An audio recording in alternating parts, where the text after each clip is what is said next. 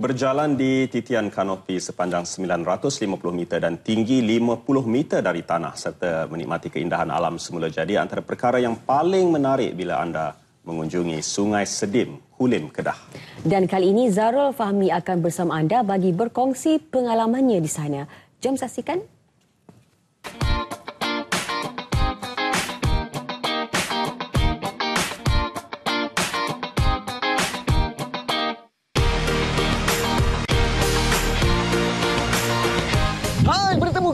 Dalam Jom Jalan-Jalan Meneroka Destinasi Menarik Malaysia.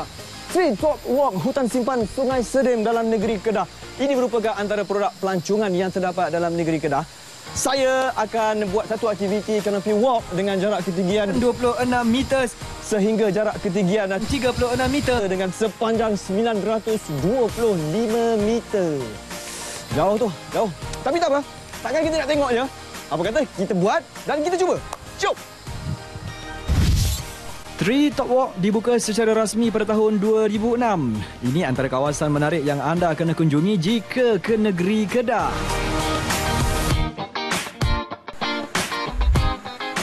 Paras tertinggi laluan kanopi yang berbentuk segi empat ini adalah 36 meter dari aras tanah.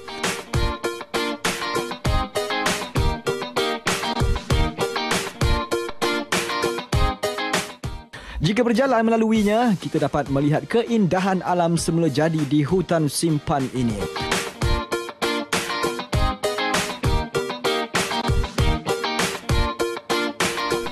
Laluan ini juga akan merentasi Sungai Sedim yang merupakan antara lokasi terbaik aktiviti whitewater rafting di Asia Tenggara.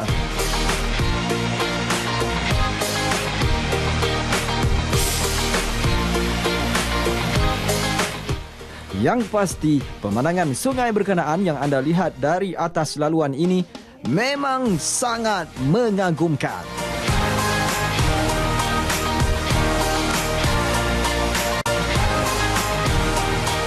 Selain melakukan aktiviti berjalan di kanopi ini, ada juga aktiviti lain yang ditawarkan.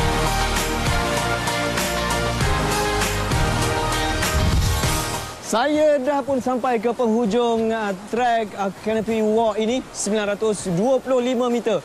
Memang bunyinya macam jauh tapi percayalah apabila anda berjalan anda tidak akan dapat merasa betapa jauhnya jarak ini kerana dapat menikmati dan juga dapat menghirup udara yang nyaman. Huh, best. Memang best.